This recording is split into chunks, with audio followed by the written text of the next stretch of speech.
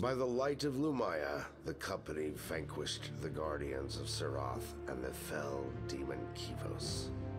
But alas, it soon became clear, for only the combined force of their shards could unleash enough power. Our heroes bravely stepped forward, and together, but wait, O champion, for the portal will open again.